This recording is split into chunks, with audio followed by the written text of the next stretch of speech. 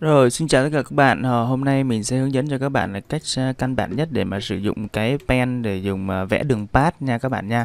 À, cái công cụ pen này trong Photoshop nó giúp cho chúng ta là tạo ra cái vùng chọn mà nó có phần khó để chúng ta nó không có một vài cái mẫu sẵn trong tạo vùng chọn thì à, đặc biệt là chọn các nhân vật thì chúng ta phải sử dụng cái đường path để chúng ta vẽ chung quanh cái nhân vật đó để chúng ta tách ra khỏi cái nền thì bây giờ mình sẽ dẫn dẫn trước hết đó là ừ, mình nói về cái lệnh shape ở dưới đây này. Cái công cụ shape ở đây nè. Các bạn ở trên đây nó là chọn vùng chọn nha các bạn nha. Còn ở dưới đây nó sẽ là các cái shape. Các cái shape hình nó có sẵn ở trong máy. Ví dụ như là bạn muốn vẽ một cái shape cái này nó khác một cái đó là nó là dạng shape chứ nó không phải là dạng vùng chọn. Khi bạn vẽ ra nó giống như một cái đối tượng vector ấy, thì bạn à, sẽ thấy ở trên đây nó có một vài cái tùy chỉnh là bạn chọn kiểu fill kiểu fill tức là cái kiểu tô màu ở bên trong cái cái hình này. Còn cái stroke là cái đường viền của nó nha các bạn. Bây giờ mình chọn lại ha. Ví dụ như bây giờ mình chọn ở đây mình sẽ vẽ cho nó một cái fill là màu uh, màu xanh là màu xanh này đi. Rồi mình chọn cho nó cái stroke ở ngoài đây là mình chọn cho nó cái màu cam để mình họa cho các bạn dễ hiểu nha. Rồi cái đây là cái độ dày của cái stroke. Bạn cho nó tăng lên và đây là cái à, cái thuộc tính của cái stroke là bạn có thể chọn một cái đường thẳng hoặc là cái chấm chấm chấm chấm chung quanh cũng được. Và đây là cái kích cỡ của nó khi mà chúng ta vẽ ra thì cái kích cỡ này nó sẽ hiển thị. Bây giờ mình thử vẽ nha các bạn để đây là shape nó đang để chữ shape nha. Ví dụ mình vẽ đó các bạn sẽ thấy rằng là nó có cái uh, nền ở bên trong đó là màu xanh và cái stroke ở bên ngoài nó là màu cam và nó có hiển thị cái đường đít nét ở đây này các bạn. Đó ví dụ mình chọn lại cái kiểu đường đít nét khác này hoặc là mình giảm cái kích thước này xuống này mình giảm cái kích thước các bạn thấy là mình đã giảm cái kích thước chẳng hạn như mình để đây là hai pixel thôi ha thì các bạn sẽ thấy đây là cái đường stroke của nó nó sẽ có cái dạng như thế này. Là một vài cái stroke ờ, một vài cái shape kiểu khác nữa là bạn có thể chọn cái thứ hai ở trong cái công cụ này là cái shape của chúng ta sẽ bo cái góc nó sẽ bo cái góc tròn ha. Thì ở trong đây nó sẽ cho bạn à, cũng cho bạn tùy chỉnh những cái này và bạn sẽ thấy là cái góc này nếu bạn muốn nó to ra thì bạn chỉnh ở cái radius ở đây nó sẽ to lên ha Tiếp theo là những cái hình elip và hình tròn hoặc là hình đa giác ở đây các bạn cũng có thể chọn lựa để các bạn vẽ những cái ờ, shape tương tự như thế. Và đây đã có một vài cái custom shape tool ở đây là thì bạn sẽ chọn lên trên đây. Nó có một vài cái shape ở trong hệ thống bạn có thể append thêm vô đây cũng được. Bạn có thể append thêm đây chẳng hạn như mình có cái object ở đây ha rồi mình nhấn append vô đây rồi bạn sẽ thấy nó có thêm một vài cái uh, stroke khác ở đây một vài cái shape khác ở đây này các bạn thì các bạn có thể thử mấy cái này ha chẳng hạn như bài mình làm những cái uh, mảnh ghép như thế này này các bạn. Đó thì nó nằm ở trên đây các bạn có thể append bằng cách là các bạn bấm vô đây rồi các bạn chọn vô một vài cái ờ, chủ đề nó có ở trong animal đi. Rồi mình nhấn append thì nó sẽ thêm vào đây bạn sẽ thấy nó có một vài cái con thú ở đây nè. Đấy ví dụ mình vẽ con thỏ đấy nó là dạng shape nha các bạn nha. Rồi khi bạn các bạn vẽ shape á, thì các bạn sẽ thấy là nó xuất hiện ở trên cái bảng layer của chúng ta trên đây luôn. Là bạn nhìn thấy à, những cái lệnh shape nó sẽ xuất hiện ở cái bảng à, layer của chúng ta trên đây này các bạn. À, trên layer nó có xuất hiện là shape one này. Bây giờ mình xóa đi nhá. Mình xóa đi. Bây giờ mình nói đến à, vẽ một cái đường path. Đường path à, tức là những cái đường mà nó sẽ điều khiển theo cái nút bút của chúng ta đây ha. Mình xóa cái shape này, này shape con thỏ này rồi, trước hết là mình sẽ vẽ cái đường thẳng như thế này. Thì các bạn vô cái công cụ chữ P. Cái công cụ chữ P là cái là công cụ pen tool ở đây ha. Thì cái công cụ pen tool này á, nó cho phép bạn vẽ những cái đường à, mà theo ý của cái bút nó điều khiển. Trước hết là chúng ta vẽ đường thẳng thì bạn chỉ việc click xuống màn hình. Xong rồi bạn click cái điểm tiếp theo nó sẽ vẽ cái đường thẳng. Khi mà bạn bẻ ngang ra như vậy mà bạn muốn nó thẳng hàng thì bạn giữ thêm phím shift thì nó sẽ đi thẳng hàng. Tương tự nếu như bạn bẻ dọc xuống mà bạn giữ phím shift thì nó sẽ đi thẳng hàng xuống bên dưới. Mình tiếp tục vẽ ở đây nha. Rồi các bạn cứ tiếp tục làm như thế chúng ta sẽ có được một cái hình cái cây thông như thế này.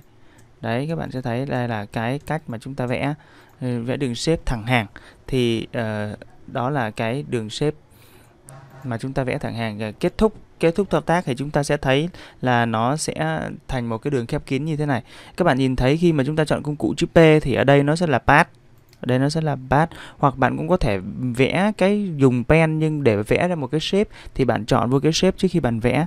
Hoặc bạn vẽ xong rồi bạn muốn biến nó thành một cái hình ở layer bình thường luôn thì bạn chọn xuống cái pixel. Khi mà chúng ta vẽ cái đường path thì các bạn sẽ thấy nó không có xuất hiện cái ờ, cái biểu tượng đường path đó ở trên cái cái bảng layer. Nó không có xuất hiện ở đây. Mà chúng ta phải vào trong cái cái panel của cái đường path để chúng ta kiếm nó ra. Đây mình gõ chữ path này. Bạn sẽ thấy cái cái uh, panel của cái đường path nó sẽ xuất hiện. Đây là cái panel của đường path này các bạn này đây nha. Mình để lên đây cho các bạn coi. Đấy. Thì cái đường path này nó sẽ nằm trên một cái panel riêng. Đây là những cái những cái đường path mà chúng ta đã vẽ sẵn trước đó này đây là những cái đường bát mình vẽ sẵn trước đó ha chẳng hạn như là uh, mình đang vẽ cái này mình muốn xóa cái đường bát này đi thì mình cầm nó mình quăng vào sổ rác là cái mình vừa vẽ. Còn đây là cái vẽ mình đã vẽ trước đó là cái cái cây thông này chẳng hạn như mình vẽ lúc nãy mình vẽ cây thông nó nằm ở đây nè thì nó ra đây rồi uh, đường cong này đấy ví dụ như mình vẽ những cái đường bát thì khi mà các bạn à, các bạn bấm ra màn hình thì có thể là cái cái đường này nó sẽ không có xuất hiện nữa. Bởi vì à, nó sẽ không có nằm ở trên cái bảng layer. Nhưng khi bạn vô cái đường bảng bảng à, panel của bát này thì các bạn sẽ thấy nó xuất hiện. Nếu như bạn muốn xóa nó đi thì các bạn cầm nó bạn quăng vô trong sọt rác ở đây và bạn xóa đi.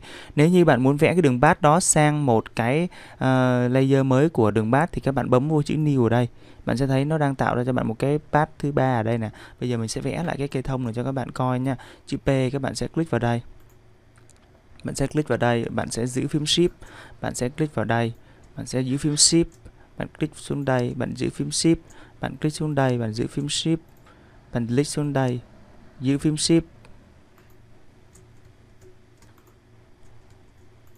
Đây, giữ phím shift nè. Rồi, bạn click lên đây, bạn giữ phím shift rồi bạn lại cho lên đây đấy chúng ta thấy chúng ta đang có một cái đường path là đường path thứ ba này rồi để bây giờ giả sử như bạn muốn di chuyển cái đường bát này đi á thì chúng ta ở dưới đây chúng ta có cái công cụ đó là cái công cụ hòa hai cái mũi tên ở bên dưới này nó sẽ có một cái mũi tên màu đen và cái mũi tên màu trắng. Cái mũi tên màu đen khi bạn cầm vô cái mũi tên màu đen này thì bạn di chuyển, bạn sẽ cầm cái đường bát đó bạn di chuyển nó đi thì nó sẽ di chuyển cái đường bát. Còn cái phím mũi tên màu trắng bạn click vào một cái điểm nào đó thì bạn sẽ di chuyển cái điểm đó đi bạn sẽ di chuyển cái điểm đó đi. Đó. Rồi bây giờ mình xóa luôn cái đường bát đi nha. Mình nói tiếp xuống cái mình nói tiếp xuống dưới cái uh, đường bát mà nó nằm cong như thế này nha các bạn nha. Nó nằm cong như thế này. Thì uh, cái cách vẽ như sau bạn cũng chọn về công cụ pen tool ha. Cái công cụ thứ hai ở đây này là free freeform pen tool á, thì bạn sẽ vẽ bất kỳ một cái đường ngẫu nhiên bạn quẹt một con chuột ngẫu nhiên thì nó sẽ tự động nó bẻ cái đó thành một cái đường cong cho bạn. Đó là cái công cụ thứ hai. Là chúng ta trở lại công cụ thứ nhất nha. Bây giờ mình sẽ vẽ đường cong này bạn sẽ vẽ đường cong bằng cách là bạn sẽ click xuống dưới đây. Dưới màn hình. Sau đó bạn click cái điểm thứ hai, bạn khoan bung chuột, xong rồi bạn sẽ kéo nó cho cái thanh điều hướng nó đi đúng ý của mình. Bạn sẽ kéo cái thanh điều hướng nó đi nha. Nếu như bây giờ mình vẽ tiếp ở đây thì nó sẽ tự động nó điều hướng để cho nó ra cái hình như thế này đấy còn nếu như bây giờ ấy các bạn sẽ thấy này.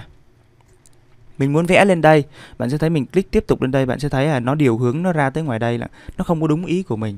Vậy thì nếu như bạn muốn bẻ hướng của nó ấy, thì bạn có thể bẻ cái cái thanh điều hướng của nó nó nằm ở đây nè. Hoặc là bạn bạn giữ cần Alt và bạn click xuống cái điểm mà bạn vừa mới mới mới đóng cái neo ở đó bạn giữ Antalet bạn click xuống thì nó sẽ mất cái thanh điều hướng bên đây đi và sau đó bạn sẽ bẻ cái này. Nó nó chuyển cái hướng theo đúng ý của bạn. Bạn click Antalet vào đây nha. Antalet rồi bạn click vô rồi. Mình sẽ tiếp tục vẽ cái này. Click Antalet bạn giữ. Rồi bạn kéo ra đây. Click Antalet tiếp tục như thế, bạn sẽ vẽ ra cái hình cái cây thông như thế này. Rồi trong khi mà chúng ta vẽ thì ờ, chẳng hạn như bạn thấy bạn đóng cái điểm neo này nó nằm sai vị trí thì các bạn có thể di chuyển cái điểm neo này bằng cách là bạn giữ control và bạn lôi nó đi thì nó sẽ về cái điểm khác đúng ý của bạn. Rồi bạn cầm cái này à, bạn ờ, giữ control và bạn kéo cái điểm này đi này nó sẽ bẻ theo. Bạn giữ control mà bạn click vô cái điểm neo thì nó cho phép bạn di chuyển điểm neo đó đi còn nếu bạn giữ control và bạn kéo cái cái đầu của cái thanh điều hướng này thì nó sẽ đi theo cái cái góc theo ý theo ý của bạn muốn ha. Hoặc là bạn à, bạn cầm này bạn kéo. Bạn giữ control này bạn kéo này thì nó sẽ đi theo đúng cái ý của bạn. Còn bạn nhấn à, giữ Alt rồi bạn click vào đây thì nó sẽ mất cái thanh điều hướng bên này và nó sẽ bẻ theo cái góc mới của bạn. Đó đó là cái cách để chúng ta có thể vẽ cái đường path này. Khi bạn kết thúc thao tác rồi bạn muốn thoát ra ngoài thì bạn giữ Control và bạn click ra ngoài màn hình thì cái đường path này nó hiểu rằng là bạn đã vẽ xong. Bạn vẽ xong cái cái đường path đó. Bây giờ mình trở lại, mình tiếp tục vẽ cái cái hình này cho các bạn, cho nó hoàn chỉnh luôn nha các bạn nha.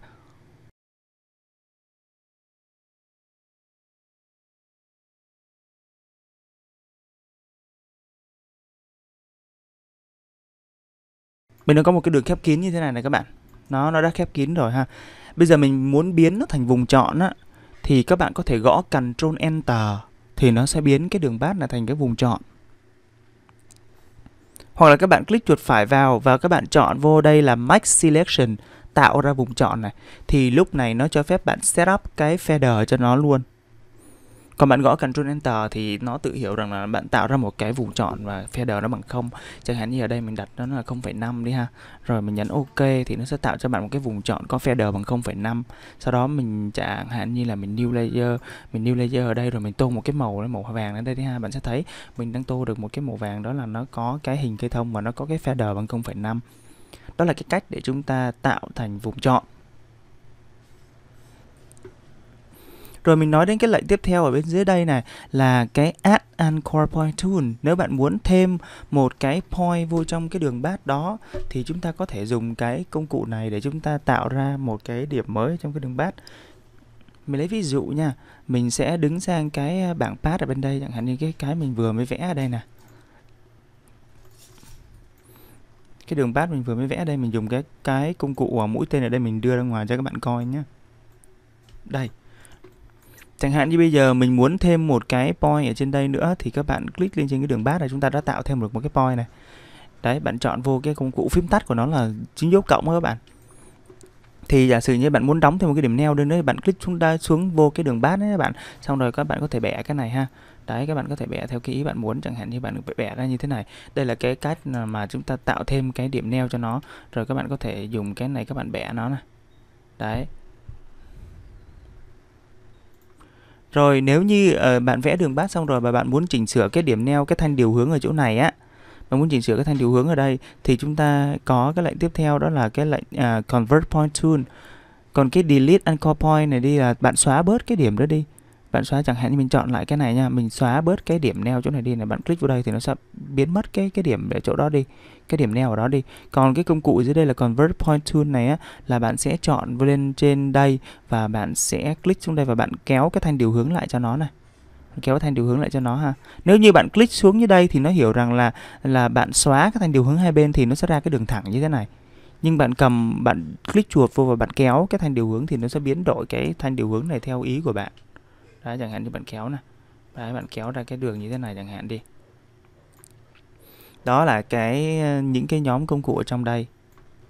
Rồi vậy thì chúng ta khi mà chúng ta vẽ đường bát á, mà chúng ta muốn có những cái hình như thế này á thì bạn phải vẽ nó dạng shape. Mình chọn vào công cụ chữ P nha mình gõ chữ P. Sau đó bạn chọn lên đây là bạn chọn vào cái shape. Rồi mình mình vẽ điểm đầu tiên xong mình kéo nó lên trên xong mình hãng bung chuột nè. Mình để tới đây ha. Rồi mình vẽ cái điểm tiếp theo bên đây nè đấy rồi mình vẽ điểm tiếp theo bên đây. Mình vẽ cái điểm tiếp theo. Đấy mình giả, giả sử như mình vẽ đường như thế này. Xong rồi ấy, bạn sẽ chọn cho nó cái kiểu shape nó làm cái đường này nó nó là cái đường chưa có khép kín. Nó là cái đường chưa khép kín. Bạn sẽ thấy cái shape nó nằm bên đây này các bạn. Và bạn chọn vô cái công cụ shape lại một lần nữa chọn công cụ shape là bạn để bạn tiêu chỉnh cái ở trên đây chẳng hạn. Như mình muốn để cái nền này là nền trắng ha rồi nó chỉ cho mình cái ờ, đường stroke thôi và bạn giảm cái stroke là xuống chẳng hạn mình giảm xuống thành hai pixel thì bạn sẽ thấy nó đi nó cho mình một cái đường đường uh, như thế này.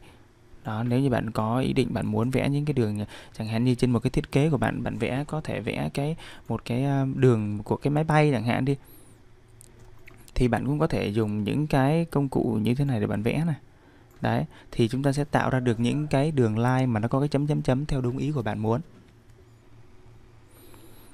Vậy thì trong bài tập này các bạn sẽ thử thực hành là bạn sẽ vẽ cái hình những cái hình à, nhân vật như thế này chẳng hạn. Hoặc là các bạn cũng có thể thực hành à, các bạn tạo vùng chọn là các cái nhân vật ở trong các cái thiết kế của chúng ta để cho nó tạo ra cái vùng chọn và chúng ta tách nền và cắt ghép sang một cái à, hình khác nó được thuận lợi hơn.